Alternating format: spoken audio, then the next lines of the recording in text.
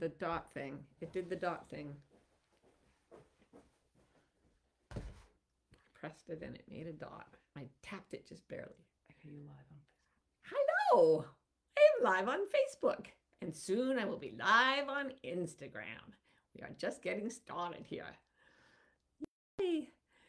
So, who's coming to the this is an early edition of the gathering room. Some of you may not realize that the time is different this week, but it's very exciting. The reason we are we're going out at an earlier time than usual because today we have with us the wonderful folks from the Oprah Book Club. Hello, Alicia. Hello, Chris. How you doing? Going over to oh, Stephanie's here and Susan. Ooh, and Makala and Divinely Guided. Indeed, I hope you were divinely guided here. And Becky and Catherine and Leah. Who I was afraid nobody would come because it, it's a different time, you know. So I don't keep up with things like that. Hi, Trisha. Hi, Cindy. Oh, so many people here. Stacy and Joy Francis. Oh, thank you, dear. I'm getting compliments. I can hardly, I am blushing. Um, you guys are so awesome. Here you are at the different time for our special one hour gathering room eh, for our friends at the Oprah Book Club. So today, today, today, let's see, we've got almost 100 people on Facebook. That's my that's my number for when I start going into the actual lecture. Hi, everybody. Okay, I'm going to go into the actual lecture. Thank you all so much for coming. Oh, my goodness gracious. A full one hour to do the gathering room on a topic that my regular viewers may know very, very well. But guess what? There is more material to delve into today. So the topic is integrity because you from the Oprah Book Club know that this month Oprah has honored me beyond words by choosing my book, The Way of Integrity, which you see a huge shelf of behind me up there somewhere. Yeah, I have, they send you a box of them. It's not like I just go buy my own book. Um, yeah, so you guys are looking at The Way of Integrity as the Oprah Book Club selection. And those of you who are regular visitors to the gathering room, um, I'm just giving a big virtual hug between all of us who are used to the gathering room and those who are new today. And those of you who've heard me talking about integrity already, I have a whole new thing to say. So, just to sum it up for the folks who are new, I just want, I wrote this book about integrity, but it's not like, oh, you should be good. You're not good enough. You're not in integrity. Mm-mm. Integrity is just a mechanical issue that keeps our lives either working or when it falls apart, not working at all. And the word itself just means whole, undivided, intact. So we're all born whole and undivided. And we have ourselves, right? You don't get six month olds typically going, I feel I have to go find myself. They they know where them themselves are. Themselves are right in their bodies. But before they get very old, they start getting pressure from people around them or from circumstances that require them to behave in ways that maybe aren't completely authentic to them to not be fussy, to not complain, to be, you know, to be quiet instead of rowdy. And 99 times out of 100, that baby will split from the whole self into a self that is natural, part of nature, and a self that is responding to others, part of culture. And culture means any two people. We all create cultures, couples, families, religions, countries we all have a culture. We all have multiple cultures that are putting pressure on us all the time. So by the time we're in preschool, we're pretty damn good at letting ourselves be pushed to the background while we pretend to be the perfect children that the people and the situations around us seem to require. And this goes really well for us at one level. We get along, we we go through school, we get we navigate this crazy complicated world that is human culture but the more divided we are from our natural selves, the more we begin to feel like, oh, oh, oh, I am not working correctly. This is not holding together. So the the analogy I use in the book is an airplane. If it's in structural integrity, that means it's got some airplanes have more than 4 million parts. And if those are working in harmony, this massive hunk of metal can fly thousands and thousands of miles. It's like a miracle. Get it out of alignment, out of integrity, not in structural integrity, it will not fly. It will falter in all kinds of ways. You can't steer it, you can't take off, whatever it is. So if you think about your life, places where it feels stalled out, you haven't been able to take off, you haven't been able to steer your life the way you wanted it to go. That's because the parts of you that are meant to be aligned so that you can make your way through the world have gotten misaligned. And the only reason they do this, it's not because you're trying to be bad, it's because you're trying to be good. You're trying to please the people around you, and you've lost that connection with the natural self that you had when you were a brand new baby. And that's kind of a catastrophe. And if you don't ever go in search of that abandoned self, it's a kind of soul murder. Like it really, it can take you very, very, very far from happiness. And at the same time, on the surface, you may look absolutely perfect because you're following the laws of the culture and you have the things the culture says you should have. I've been coaching 30 years. I just cannot stop. And one thing I've learned is that very successful looking people are often the most out of integrity because they've had to abandon themselves so completely in order to reach these high, high levels of achievement in the culture. So, you know, I've coached Olympic medalists, gold medalists, who said, one, who said that the moment I stepped off the podium was the worst moment of my life because everything had been directed toward this winning the gold medal and I thought I would be happy when I got there, and I got there, and I still wasn't happy, and I had no place else to go. Right? I, would reached the top of the mountain. So I've heard that from people who are extremely wealthy, from people who are extremely famous, beautiful, popular, whatever it is.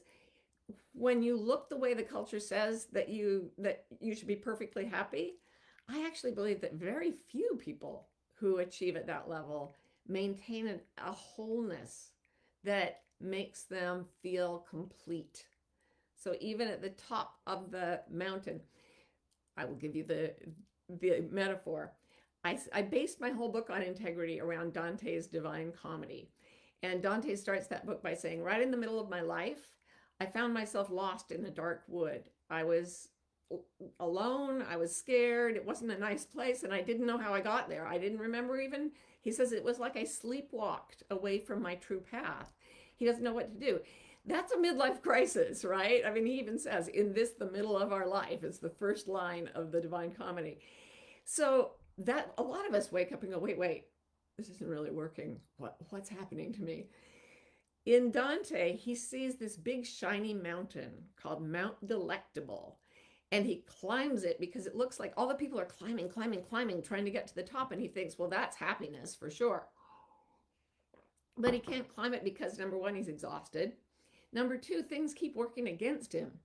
He gets attacked by wild animals and he's terrified and he's, he, he just can't go forward.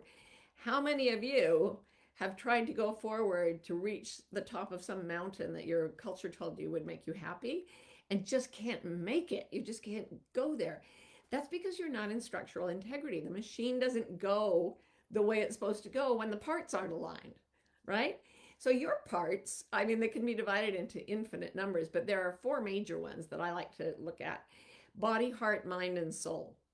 It's funny a lot of cultures, ancient cultures from all over the world, that those four parts are considered distinct.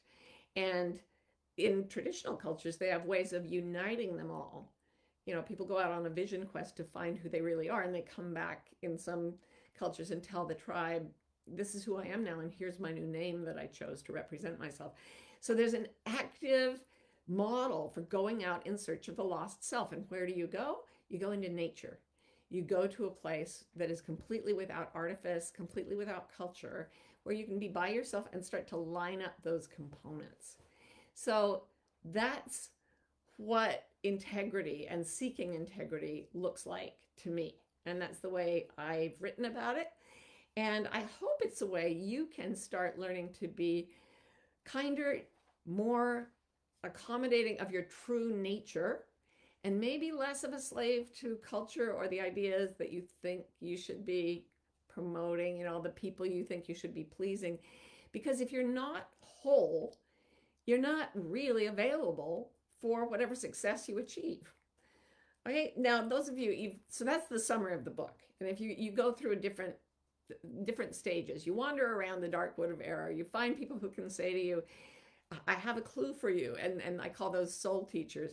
Those teachers will take you into yourself to look at where you've mistakenly believed things that are causing you to separate from your true nature.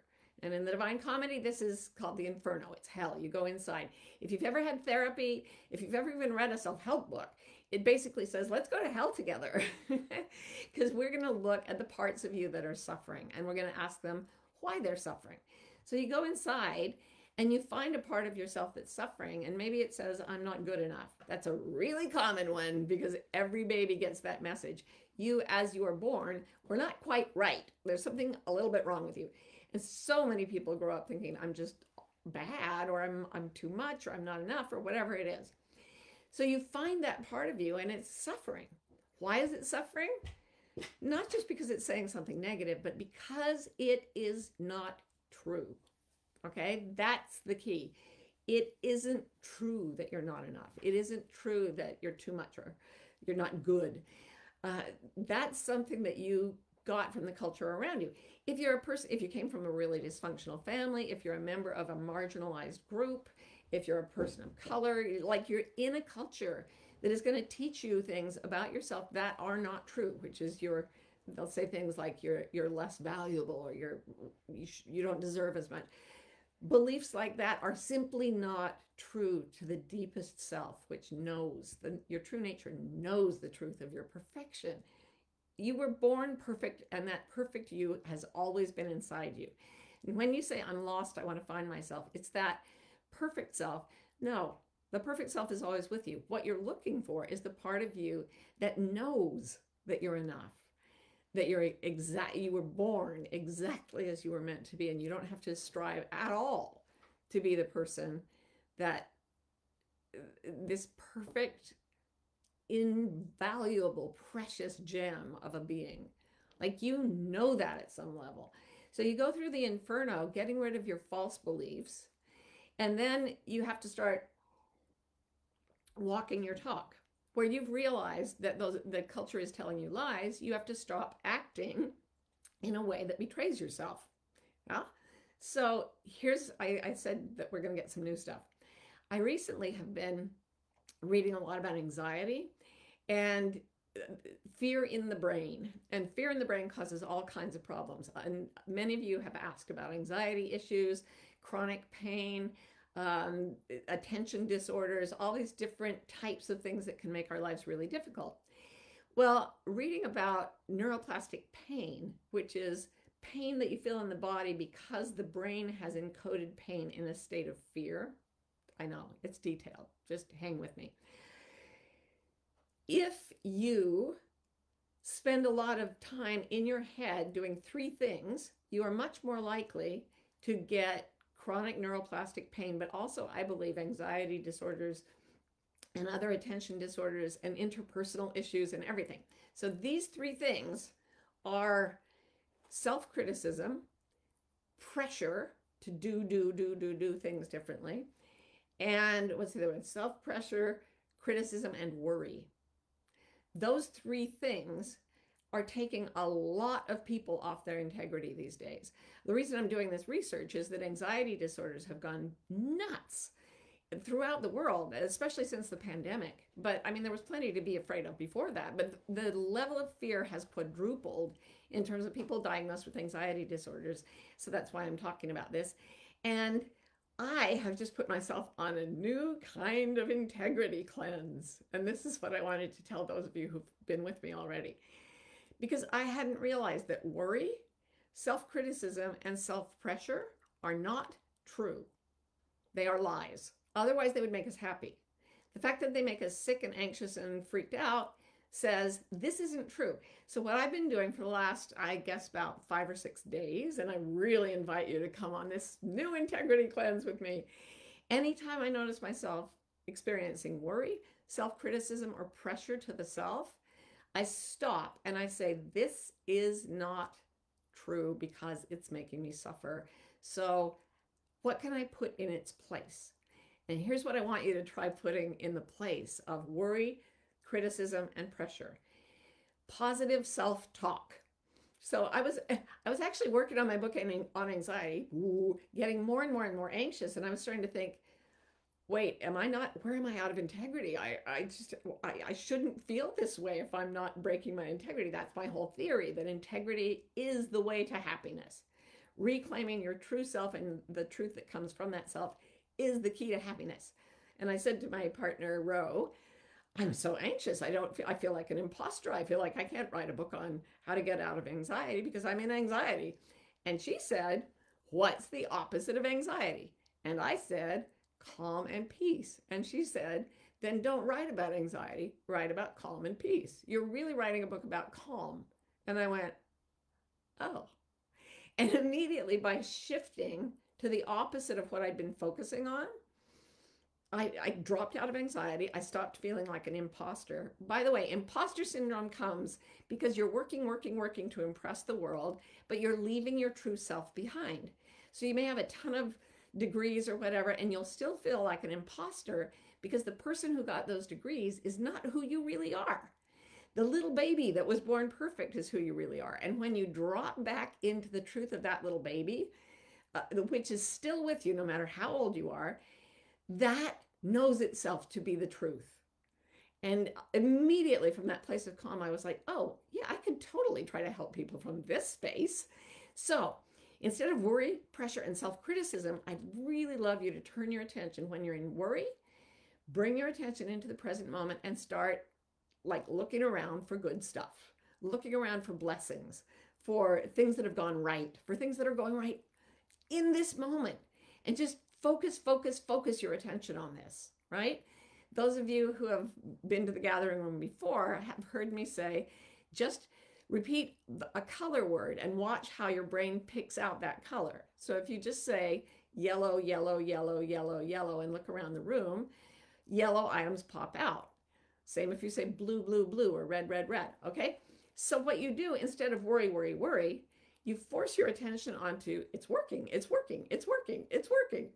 It's like the news always covers uh, the crashing of a jetliner, right? But it never covers a jetliner taking off successfully. So look at the places where you're taking off and landing successfully every single day. Like you have done incredible amounts in your life just to be alive at this point. So just take time off worry don't worry, the worry will take care of itself. It will keep going if it wants to, but just focus on what's working, what's working, what's working. If you're feeling self criticism, you need to go to self love. And all you need to do is start pointing out the things that are good about yourself. And even if you've only got a few of them, really dwell on them. If you've got a pet, try to see yourself the way the pet sees you. Uh, if you've got a loved one, say, "Tell me who I am through your eyes," and and lay on the praise. people think this is conceited. Actually, being conceited and selfish comes from pushing the self away, then starving for love because the true self's never getting any love, and then needing sort of narcissistic supply to feed the false self. That's conceited. The part that is truly aware of its own beauty and magnificence is like the puppy, is like the kitten. It's not thinking about itself, it knows itself to be okay. So if somebody can re anchor you by saying, here's what you really are to me, and you can take that in, you get out of the self criticism mode. So worry you want to replace with what's working, self criticism you want to replace with self love, and pressure, give yourself tiny breaks. Like we were working, we got up this morning, we were like, oh, we got to do a special gathering room today. And we're both really tired. Ro and I, she does all the technicals and she's behind the scenes all the time and does more work than I do for this. And she was just exhausted. And I said, Look, we've got three hours. Take one hour and literally do nothing, just go completely limp. And so she took that pressure off herself and just get, and if it's only five minutes, you can still do this and just go limp, limp, limp. Don't do anything, don't require anything of yourself. And what happened is that after 15 minutes, she felt really recharged and she got up and started doing things. And I said, You don't have to. And she's like, I know that but I feel better. And that's because she lifted the pressure off herself. So try those three things lift the pressure off, self love, write out things that are okay about you, and worry replaced with present moment. Okay. So that's, and that is to bring yourself more into alignment with the truth.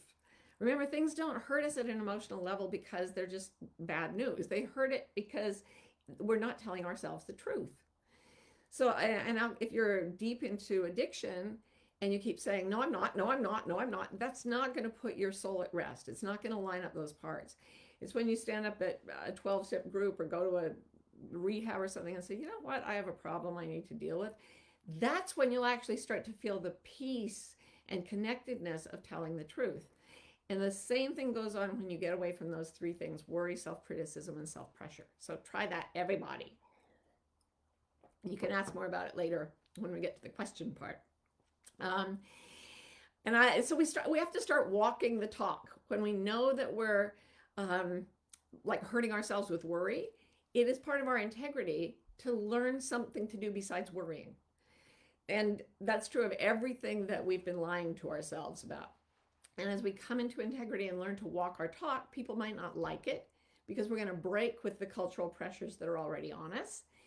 But oh, I heard Eckhart Tolle on a on a recording yesterday say the most amazing thing. He said sometimes I have to write these little things. I imagine they were for like social media or something. And he says the people will call me and they say you have 2 days, 2 days and you must do this. And he said often I don't. And he said, they either wait or it doesn't happen. And he laughs and laughs and he's in his little way. And then he says, I will not allow this world to drive me insane.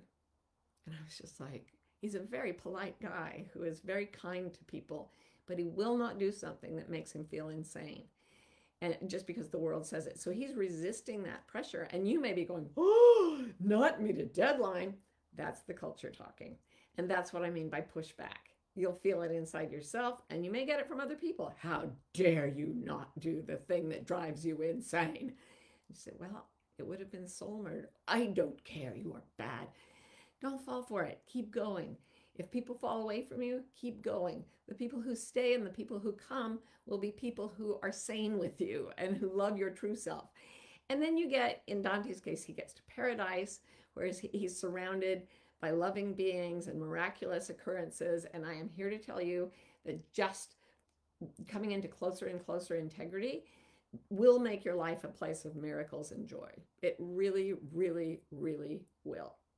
So that's my summary. And now I'm going to the questions that have come in from our wonderful new people at Oprah's Book Club.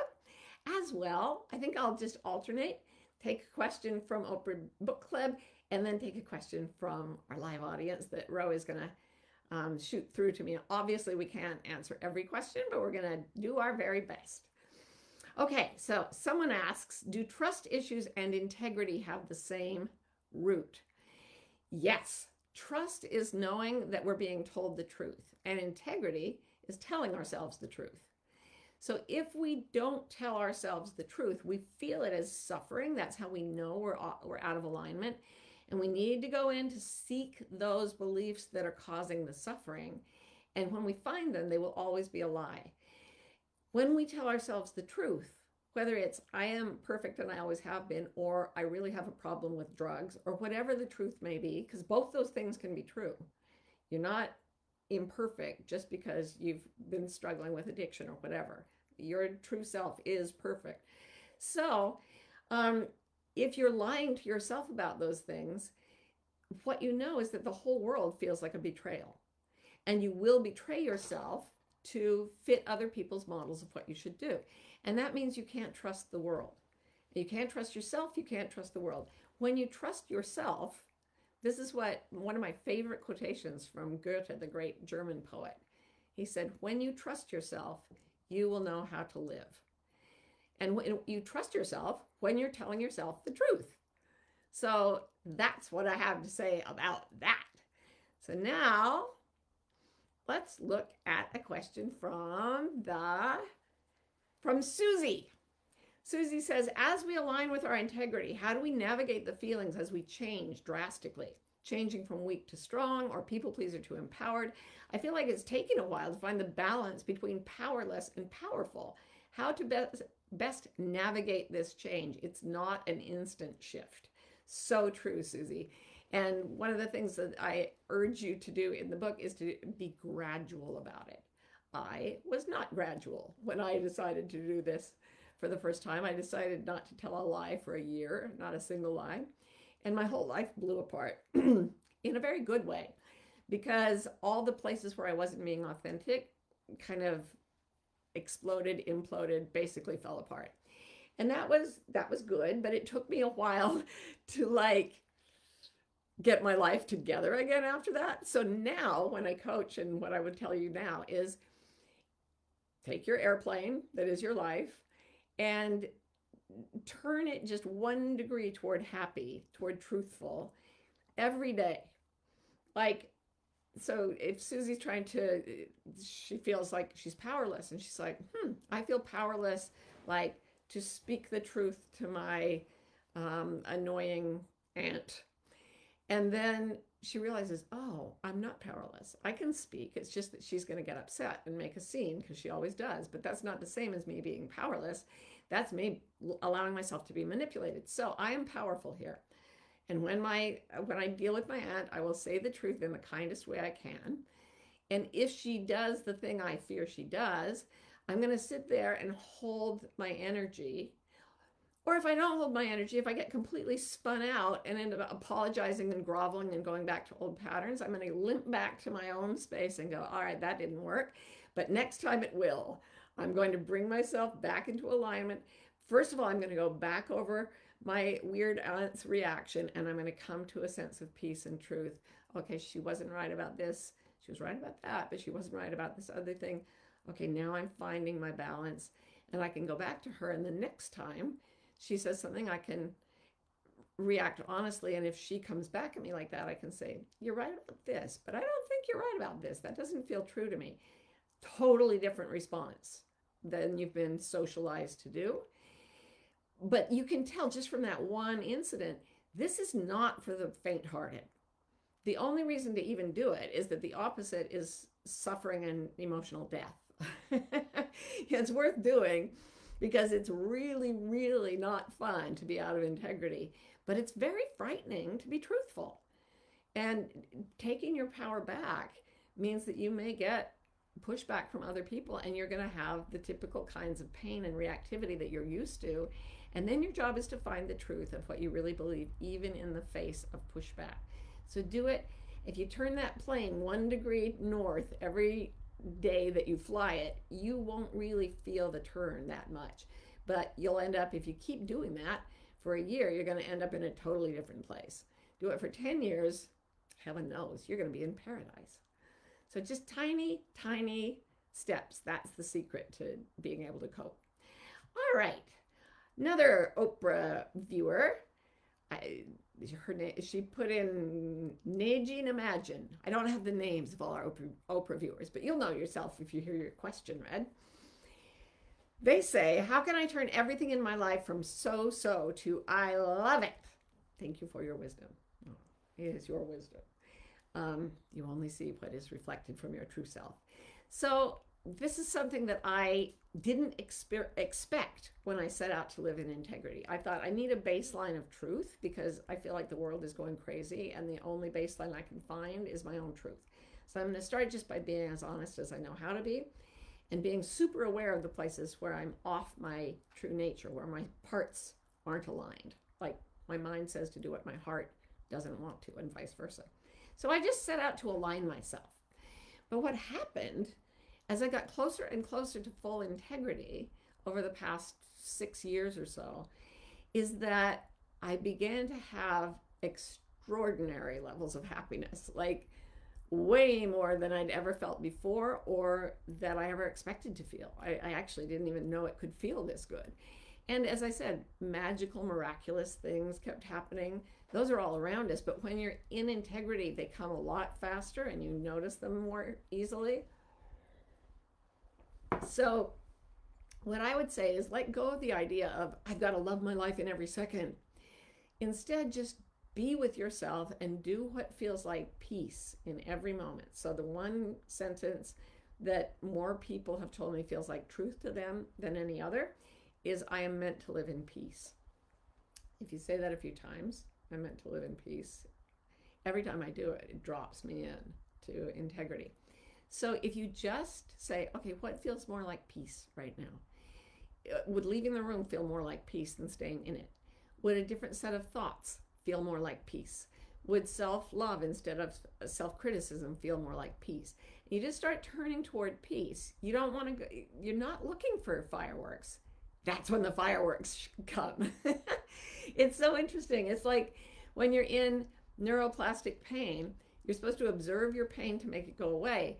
But if you observe it with the intention of making it go away, it gets worse because you get clenched, clenched around a result. So instead, you just watch it to be present, just to be present with what's there. And then, ironically enough, pain recedes and joy becomes much, much stronger. So you go into total non resistance to what is. And the, the irony of that is that non resistance, if you're suffering, causes the suffering to be much less. But non resistance to the present moment, if you're happy, causes the happiness to be much more. So non resistance is the key. And when you start non resisting, your happiness will go completely off the charts. I promise you. All right. C.L. Raven says, but I thought suffering is a sign we need to examine something within ourselves. Shouldn't we sit with the physical sensation of worry instead of shifting attention away from it? Well, worry is not a feeling. Worry is an activity. It's a verb. It's well, it's a noun too. Oh, I have a worry.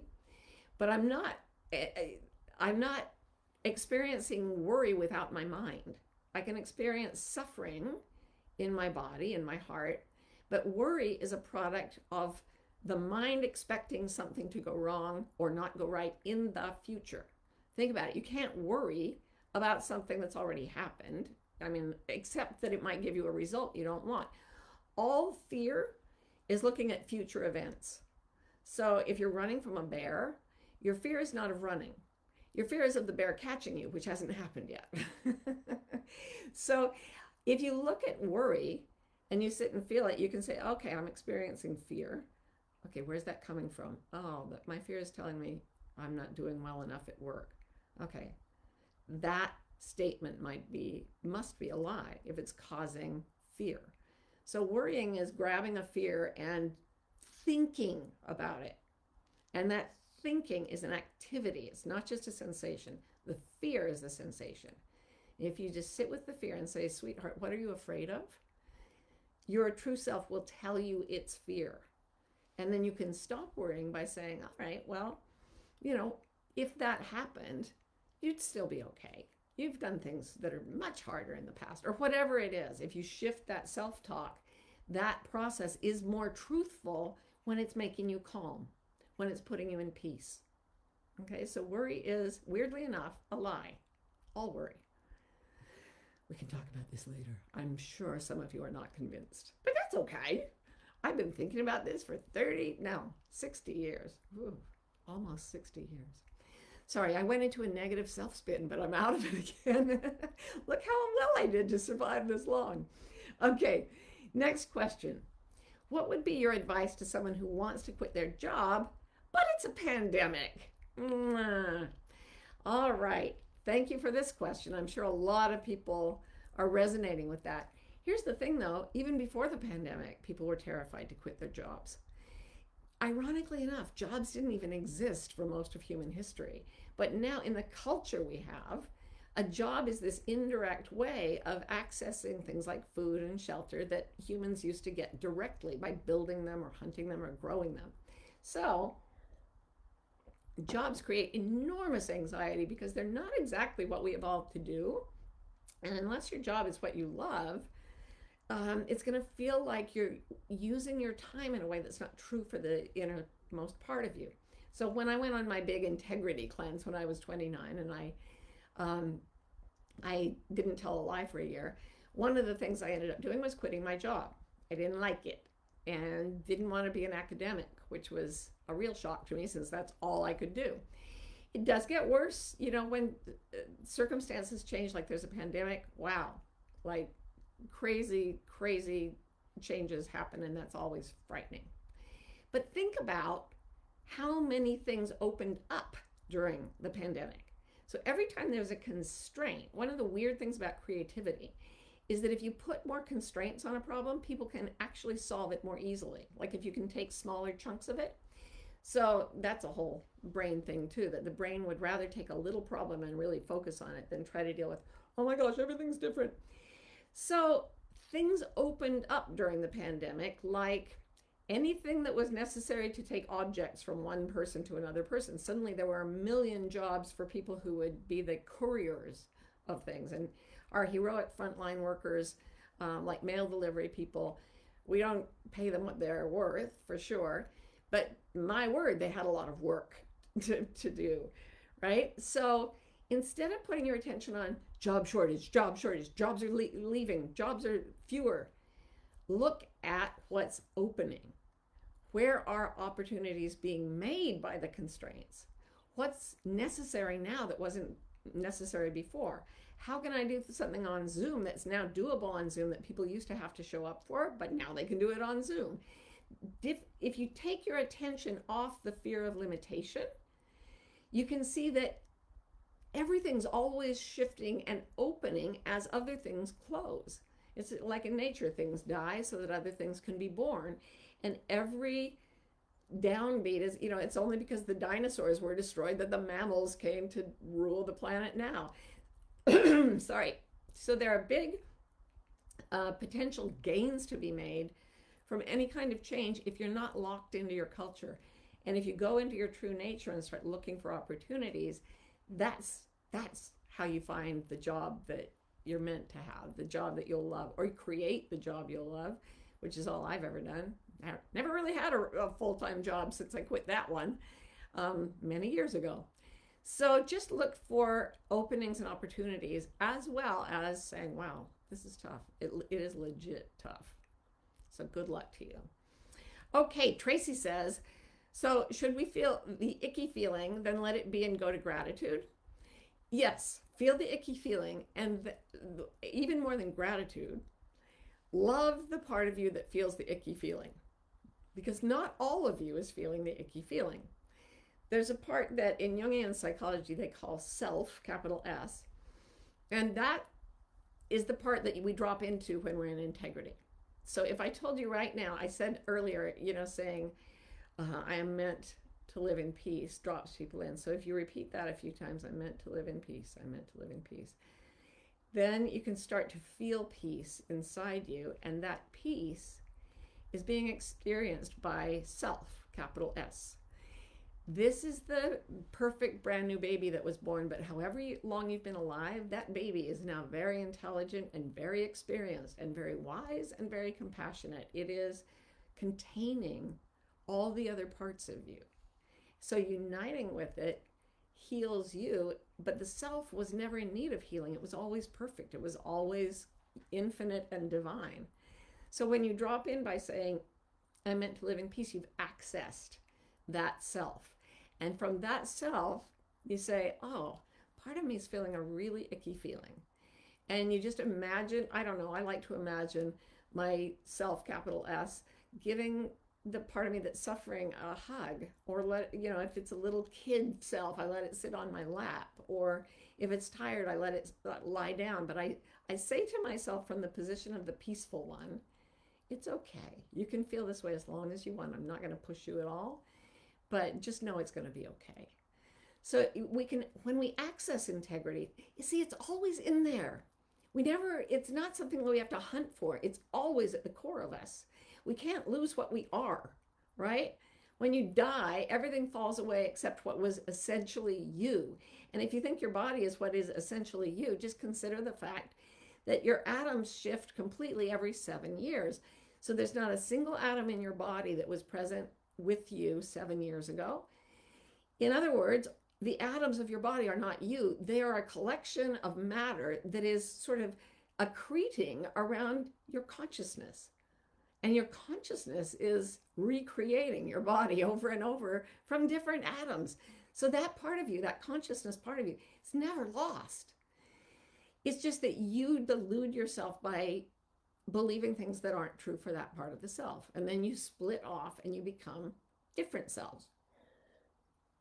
And when you go back to integrity, you gather all those selves together and you love every one of them unconditionally, including the ones that are angry, including the ones that um, are not politically correct or are impolite or are mean. Like, we don't want to keep those and make them our dominant selves, but they only go away if we address the fact that they're suffering and say, you know, you can let go of that lie now, honey. It's it's much nicer to be here in love and and security and presence. Everybody right here and now in the gathering room is present in a space that is relatively okay. Like for right this single second. When you go back to that and the self is able to eh, like come to the foreground, then all the other parts of you get to take part in this sort of healing love that comes from the only truth, the only truth, which is that you are pure and perfect and infinite. Okay, so um, from our Oprah people, how do you move on in your integrity when those around you are hurt by it? Well, it's one of those things like have you ever dated somebody because they loved you even though you didn't love them and you didn't want to tell them the truth, I don't love you, because it would hurt them? Maybe you even got married for that reason. How's it working? Because when you do something loving for someone out of a sense of obligation that is not true for you, you're sowing the seeds of more hurt down the line. You really are. When the when you finally tell the person I never really loved you, that will be shattering. Okay? So when you go about telling the truth, as I said, you will shake up the people who are in your social group. And so number 1, be very kind as you go about it. One of the things that happened to me when I stopped or when I really tried to replace my worry, self criticism, and um, uh, what's the other one? Worry, self criticism, pressure. When I tried to drop those and replace the, them with truer things for me, I became so much kinder to the people around me. I felt so much kindness to the people around me because I was being more kind to myself, which meant that I was being my true self more because the true self is always kind. It's pure love. So when you sit with somebody who says, like, for example, I left my religion that year that I didn't lie. And that was like, that is considered number one, the, the, the only sin worse than murder for the religion I was born into, but also a complete departure from everyone who ever loved you and an, a betrayal of anyone who ever loved you who is in the faith, right? So people felt hurt by my leaving my religion. They felt super duper, maybe, I don't know, lifelong hurt. I don't know. As long as they're connected to a series of thoughts that say, now Martha's going to hell, I'll never see her in the life beyond, and she hates me, or whatever, whatever the lie stream is, that they may suffer from that. But what I want to do is say, whether you've left your religion or not, you are perfect. Your essence is perfect in my eyes, and I will always love you. So I try to act that way, and I try not to be reactive and to project those things pressure, fear, and criticism at other people. But I promise you, the way to make yourself into a kinder person is to change the internal way in which you treat your true self if you treat it as the pure, innocent, perfect being that it is, and all the other parts start to melt into the embrace of peace, you become a walking fountain of love for the people around you. I haven't achieved that full time, but I've met people who have, and I know it's possible. Okay, so City Lotus says, How do we honor our integrity in environments where it's not emotionally safe to be authentic? For instance, with narcissists, etc. Should we say we're playing a role for this situation? Yes, actually. when I got to the end of my year of lying and I'd left my church and everything, I realized that if I were in Nazi Germany and I was I had hidden a family of Jews in the basement and the Nazis came looking for Jews, I would lie and say I didn't have them in the basement and I would feel moral about it. So I thought about that and I realized, oh, in an insane situation, sometimes telling all the truth is just self sacrifice. And you, actually, when you get into integrity, it will tell you exactly when to stay silent, when to speak all your truth. There is privacy in integrity, and there is good sense in integrity. So, one of my African American friends said to me, I was like, it's all about integrity. And she said, that's a privilege. And I was like, no, it isn't. It's just telling the truth. And she said, that is a privilege. And I just thought, oh my God. I have been so in my white entitlement here. Of course, it's like, how could anybody? This system is insane in its degree of racism, in my opinion. And when you're in a system that's insane, you know, don't go, I'm gay being gay in Uganda is a is a is a lethal offense. They will kill you for being gay. I'm not going to go to Uganda and announce and you know wave my pride flag. I'll do it where it's a saner system, but I'm not going to sacrifice myself to insanity. Just like Eckhart Tolle said, I'm not going to sacrifice my mind and my health to insanity just to meet a deadline that somebody else put up arbitrarily. So go to your inner guide to really feel what's in integrity to speak and when it's in integrity to let yourself be silent and to stay safe. You really need to stay safe, and there are a lot of environments that are not safe. Okay, uh, another book club question How do you muster up the strength to keep going when it seems insurmountable? I think there's a difficult level of strength you have to access to live your integrity, so which is why so few people make the change. How do you speak and act during the early days of finding your integrity? Again, slow and easy does it. You know, when Dante gets to the third part of the Divine Comedy, which is uh, Purgatorio, it's where he's going to purge himself of untruth so that he'll be ready for paradise. And the way he does that is by climbing a mountain. And everybody has to climb this mountain, apparently. So there are all these people going up the mountain, and they're all super happy even though it's hard because they know they're they're on the path and their happiness is certain because they're on the path. But at the beginning, it's so steep and there's no path and people are just walking around the base going i don't even i don't know. I can't really face that. And we've certainly seen that in our own lives seeing people saying yeah i'd love to live a different life but oh, it's just too hard the way Dante gets around it is he says, I yearned so intensely to rise that he basically passes out and an angel comes and carries him up the first few steps. And this really struck me because for my whole coaching career, I've focused so strongly on the idea of yearning. So, what I always ask clients is you make a list of things you want. Maybe you have a bucket list. You want to go to Iceland. You want to have a pony. You want to um, have a shiny red car, whatever. And you really want those things. But when you wake up in the dark of night, what do you yearn to experience?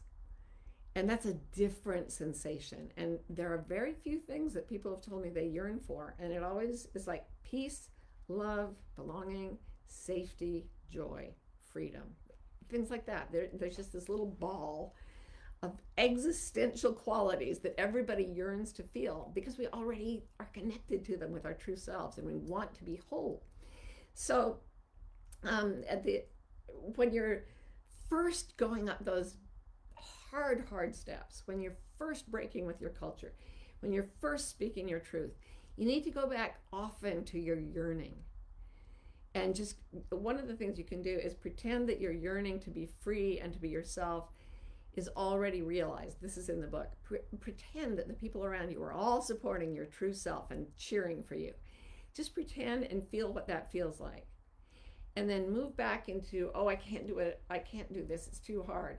And then move into pretending that it's already happened. And then move back. This is from a, a psychoneuroimmunologist named uh, Mario Martinez, who studies mind body connection. And this toggling back and forth between experiencing the feeling you yearn for, which you do when you pretend it's true, and then going back into, oh, but I can't, I can't, it's too hard. The thing about pretend it's true and it makes you strong is because the thing you're pretending is true. The I don't have the strength, I can't do it is actually not true. The I am infinitely strong and I can live in integrity is truer. It's just that you've never been allowed to feel it. And as you go back and forth between the two, you actually gain strength You drop the lie. The lie can't sustain over these repetitions. So try that technique. It's in the book and it's also in Mario Martinez's work. And I really encourage you to give it a whirl. Um, and you'll get up those first few steps. And it really does get easier as you move. It really, really gets easier toward the top. So Lynn says, You've said we can ask the universe for anything, and it's immediately sent to us, but it's sent to our true home address, which is peace. What if I'm having a difficult time finding a sense of peace? This question is for all of us. And for those of you who haven't heard me say that, you know, I meant to live in peace means that peace is our real home address. And the interesting thing about finding peace is for me, and I've watched clients do this too hundreds of times, in a state of peace, all these things we've asked for in the world, material things, events, uh, relationships, they start to find us. And it's as if they've been mailed to peace, to our peace. And they're waiting for us like a bunch of packages strewn around, waiting for us to come home and get them home to peace. So, um, at first, as I said, it's very difficult. Peace is, is paradise, and you have to really get a bead on your integrity to get that high on the mountain. But you can do it in bits. And I just told you about an exercise you can do to feel it in bits. Let's all, right now, take this minute, this very red hot second, and realize that nothing around you is threatening you right now. And just here's one of my favorite exercises. It's in the book too. Just say, I allow everything in the universe to be as it is right now. I'm not going to struggle in this moment to make anything in the universe be different than it is. Because you really can't change that much anyway.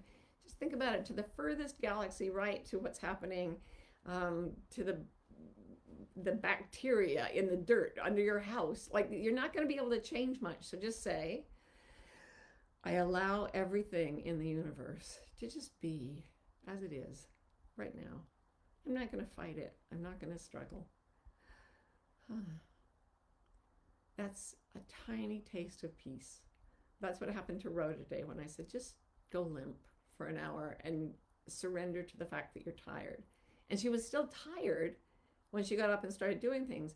But because she'd surrendered her resistance to the tiredness, somehow she wasn't in, in that hellish fatigue anymore. She was just in, she was in the river of the way things are. And the river of the way things are, that's what actually we come to trust when we start telling our own truth. So let's go to our final um, Oprah person question. My question is How do we remain steadfast in our pursuit of collective healing when the world appears to be deteriorating at such an accelerated pace? Uh, sorry, an accelerated pace. It feels like we don't have time. Well, the best we can do to establish peace in the world, the absolute most power we will ever have, is over our internal state.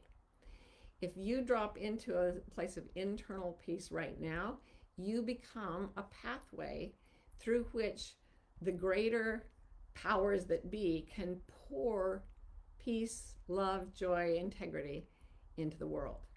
So try you just did that right now and then what happens i said there's a river of the way things are and what you will find it's just like with rose she was completely exhausted today but when she relinquished all her resistance to the truth because i think there was a part of her going i mustn't be tired i have to get up and work and that was pressure on the self that was self-criticism not true so when she said i'm really exhausted and i don't have to do anything right this moment whew what happened is she fell into the river of the way things are.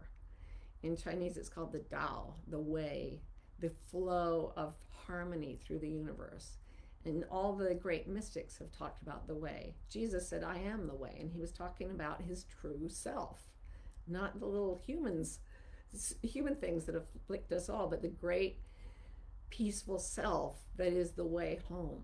So when you drop into that peace, you may be picked up by the river and taken at a very enormous rate. I mean, we talk in our coaching system a lot about how it's like being thrown forward by the current, by wa- by flowing water that says, "This is the way things are going to be, and here's your place in it. Here's your place in it when you are really true to yourself.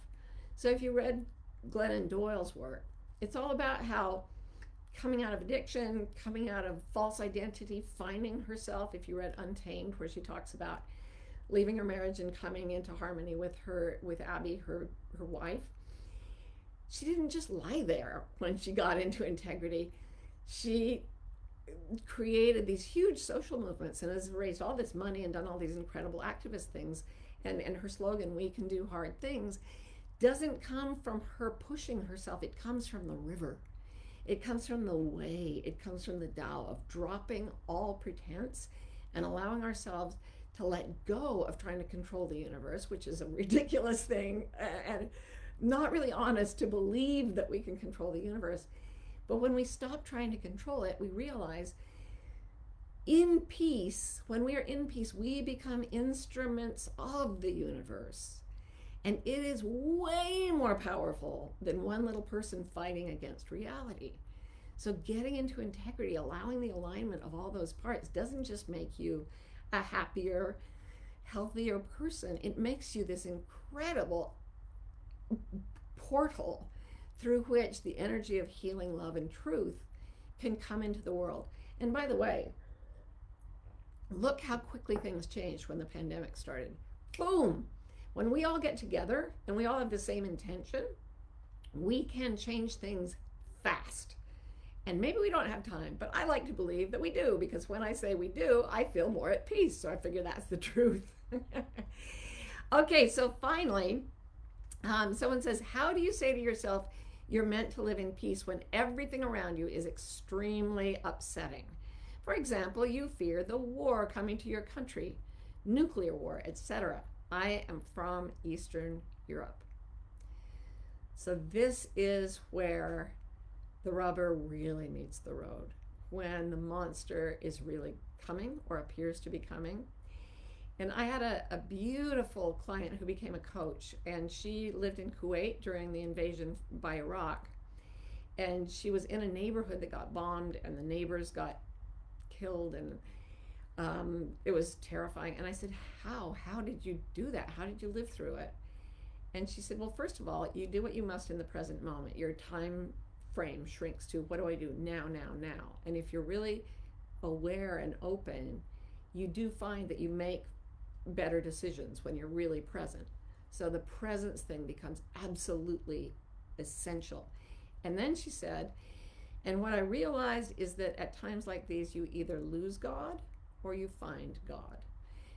And I chose to find God. Now, I'm not, I know the G word makes a lot of people uncomfortable. And I, when I say the Tao or your truth or your true self, I mean the same thing. So, vocabulary notwithstanding, when you are really under pressure, when things are really, really difficult, that's when the greatest potential for a breakthrough into your true self becomes available.